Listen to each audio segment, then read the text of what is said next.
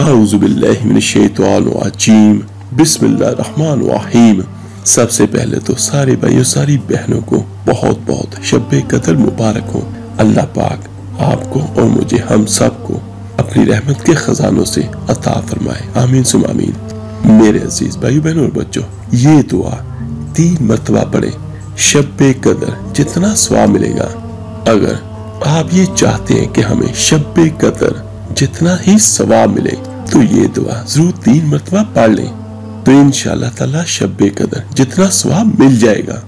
नबी करीम सल्लल्लाहु ने शाद फरमाया, जिसका मफहूम कुछ यूँ है, जिसने इस दुआ को तीन मरतबा पढ़ा तो गोया उसने शब कदर हासिल कर ली। सुबह वो दुआ ये है, बिस्मिल्लाह रहमान रहीम, ला इलाहा इल्लल्लाहुल अलीमुल करीम। सुबहान अल्लाह रब्बिस सबी व रब्बिल अर्शिल अजीम। इसका तर्जमा कमोपेश ये बनता है? खुदाए हलीम व करीम के सिवा कोई इबादत के लायक नहीं। अल्लाह पाक है, जो सातों आसमानों और अरश अजीम का परवर दिगार है।